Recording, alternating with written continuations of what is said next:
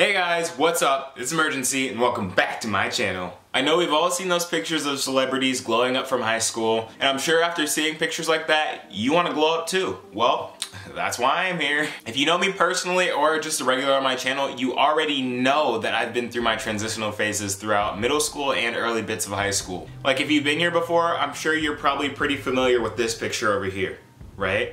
Let's never forget this. Now, regular glow-ups don't just happen overnight. It takes years, and I mean years, or maybe months, for someone to actually glow up. There's definitely a set path that you need to take to officially glow up. You can't just skip some steps and all of a sudden be beautiful. It doesn't work like that. But I'm here to cut past all that and give you guys some solid advice on how to glow up fast. Also, before I start, click that subscribe button. You're not gonna regret it. So the first and arguably most important step to your glow up experience is moisturization. Now, I don't care if you are white, black, Hispanic, Asian, or anything in between. You need to moisturize. And I don't care if ash doesn't show up on your skin tone or not, because if you're ashy, you're not glowing, and you need to be glowing to glow up. And I know, this one's a little difficult. I struggle with it too.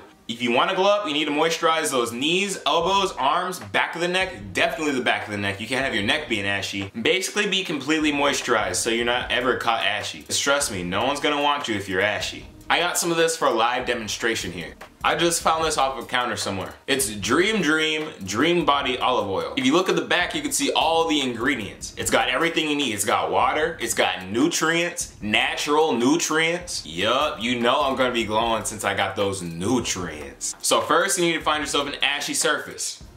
Here you go. You take your moisturizing agent, place them in your hand, oh, ooh, like so, and you moisturize the ashy parts. And just like that, you can see it on the camera. I'm nice and moisturized and shiny. Don't worry about this. That's just the lighting. Don't at me. I'm not still ashy.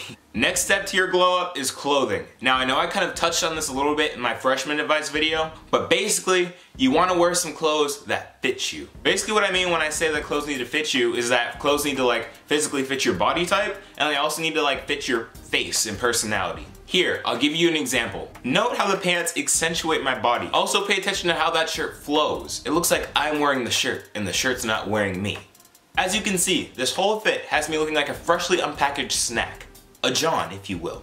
So if you can put something together like that, you're gonna go up at least three attractive points. Next step to your glow up is your hair. You need to fix your hair. I'm gonna bring myself back up as an example. Look at me. Look at what my head looked like freshman and sophomore year. You don't want to look like this. No one wants to look like this. So what I do, I realized that my forehead is just too big to have short hair. So in order to compensate, I grew it out. Basically what I'm saying is that if you go out in public and people look at you while you're walking like this,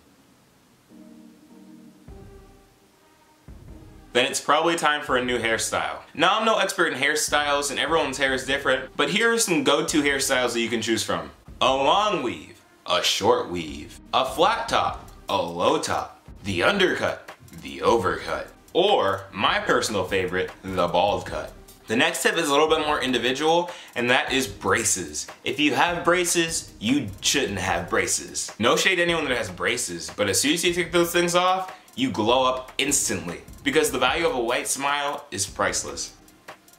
So my suggestion if you have braces, just rip those things off. It's gonna hurt a little bit, but trust me, you'll be a great A snack by the end. Next tip is to surround yourself with hot people. That's right, you need to get some hot friends. It's almost scientifically proven that if you surround yourself with hot people, you'll become hot yourself. Like if you start out at about like a 5 out of 10 and you surround yourself with like 8s and above, if math checks out, you'll go up to at least like a 7 out of 10.